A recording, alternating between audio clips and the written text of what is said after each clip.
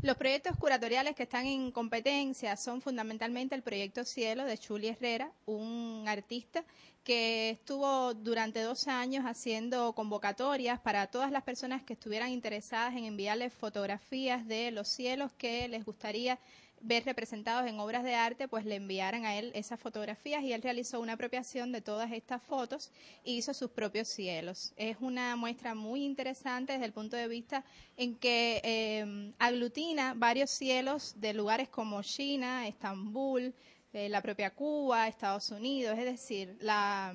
la pieza, o sea, el proyecto curatorial se construye con varias piezas que funcionan como una sola pieza, es decir, el gran cielo, que es en definitiva el cielo del mundo. El otro proyecto curatorial es Un sabor inexacto al final del purgante, también es de un joven artista camagüeyano. Son obras que él ha venido realizando durante aproximadamente dos años de trabajo también, que se va a inaugurar en la galería de la oficina del historiador. El otro proyecto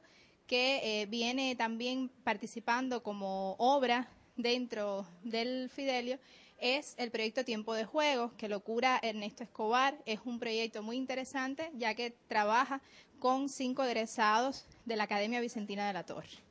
El resto de los proyectos, por ejemplo, viene un proyecto que para nosotros es muy importante del Centro Wilfredo Lam,